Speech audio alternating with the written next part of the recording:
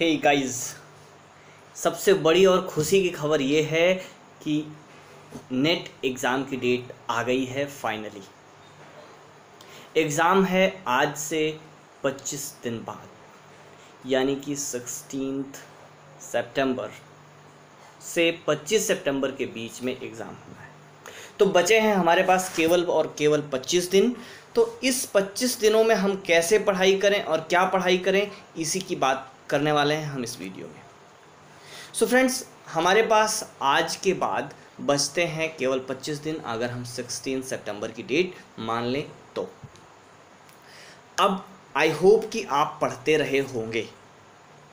लेकिन अभी आपके पास जब केवल 25 दिन है, तब आपको फोकस करने की ज़रूरत है पेपर वन पर। साथ ही साथ सब्जेक्ट के उन टॉपिक्स पर जो आपने अच्छे से पढ़ लिया है। जो टॉपिक्स आप अच्छे से पढ़ चुके हैं, आप उन पर एक बार बेहतरीन फोकस करके उसे हंड्रेड परसेंट कंप्लीट कर लें। देर आफ्टर बची हुई चीज़ें जो हैं, उन पर भी आपको थोड़ा थोड़ा फोकस करना चाहिए। अब 25 दिन का टाइम आप कुछ इस तरह से डिवाइड करना चाहिए कि वो दो पार्ट में हो। दो पार्ट में इसलिए कि एक पार्ट ऐसा हो जिसमें आप अपने अभी तक के पढ़े हुए चीज़ को रिवाइज करें। दूसरा वो हो जिसमें आप नए बचे हुए पार्ट जो अभी तक नहीं पढ़ा है उसको वापस से नए सिरे से पढ़ लें।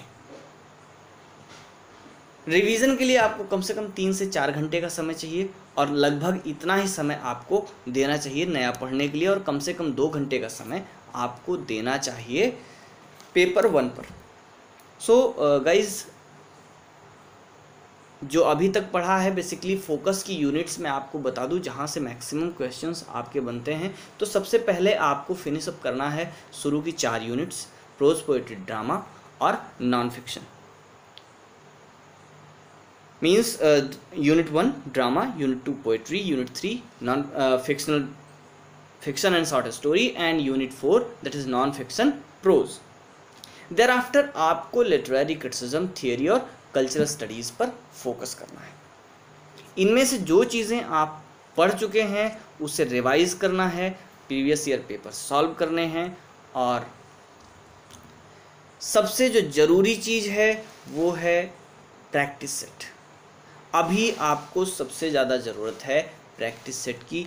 आप प्रैक्टिस जितना मैक्सिमम करेंगे उतना ही आपकी स्टडी को परफेक्शन मिलेगा। सो so, प्रैक्टिस आपके लिए बहुत ज़रूरी है।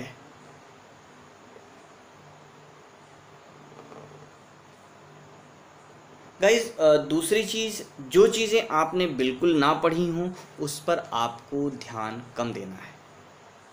उस पर आप क्या करेंगे, बहुत ध्यान नहीं देंगे। जितना पढ़ा है, उसको स्ट्रॉन्ग करना है।